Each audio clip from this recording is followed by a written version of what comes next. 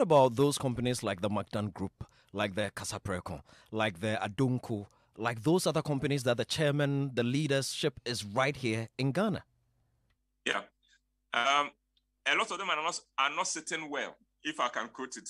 if I use, I'm using a local language, they are not sitting well. We think, yeah, I get you. you I and get I you. know- Where, where you and I know how much McDan has done for the industry.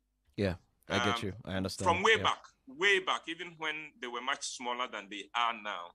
But the others, sometimes from a distance, we think they are doing that well. But you go in there and then you discover that um, they are not as as um, comfortable as you think they are.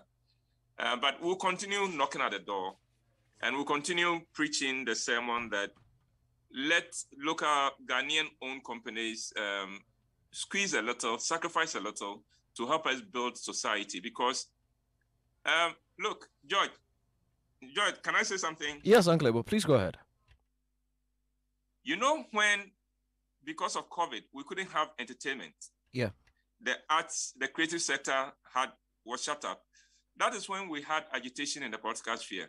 Have you noticed that? Truth. When there's a lot of entertainment, there's calm.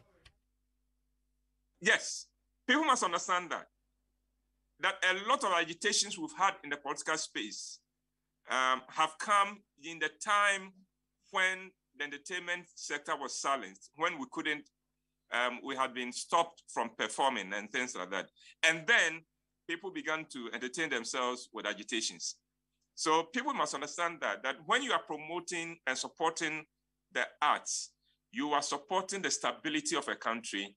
You are um, you are supporting even um, security of the country, and that is what people do not often avert their minds to. Uncle Ebo, we need